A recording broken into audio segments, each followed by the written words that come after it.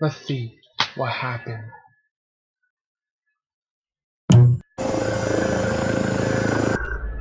Oh. Hey guys, come check this out. Someone's streaming TV out here. Getting upset, Jeremy.